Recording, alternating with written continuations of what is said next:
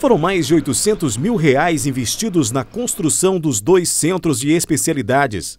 Os locais contam com o que há de melhor em aparelhos em amplas e modernas instalações. A gente tem trabalhado muito agora a gente na parte de odontologia, uma parte carente na nossa região, que era no nosso município, o centro de especialidades agora odontológico. Mas é uma alegria muito grande poder entregar à população de Lagoa Formosa esse centro de especialidade médica e oftalmológica, também o centro de especialidades odontológicas. Então é uma carência, é uma necessidade, é um anseio da população lagoense de muitos anos, né? E nossa também, estamos na prefeitura.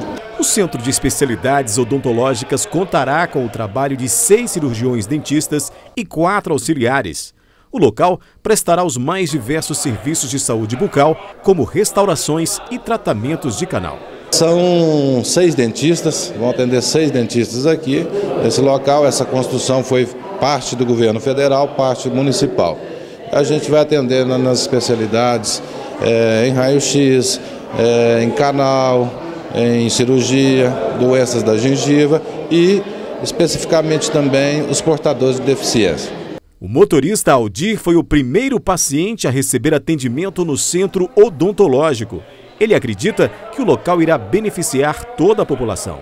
É uma, um, é uma grande inauguração para a Lagoa Formosa, né? Porque ah, na Lagoa já tem muitos, mas igual esse aqui é o primeiro. Uma construção muito boa para a Lagoa Formosa, que vai dar muito atendimento para a Lagoa Formosa. Já o Centro de Especialidades Médicas, situado na rua Zeca Lopes, bairro Novo Horizonte, fornecerá atendimentos médicos, fonoaudiólogos e oftalmológicos, além da realização de procedimentos cirúrgicos. Uma unidade que oferecerá serviços de média complexidade, né? nós estaremos então realizando serviços de pequenas cirurgias, é, exames de eletroencefalograma também, que é um serviço que o município não tinha, a gente só ofertava através do consórcio intermunicipal, hoje já estaremos então ofertando é, aqui dentro do próprio município, também exame de eletrocardiograma, atendimentos médicos de outras especialidades também, como ginecologia, atendimento de fonoaudiologia, auriculoterapia, então são muitos, muitos procedimentos né, que o paciente será beneficiado com eles.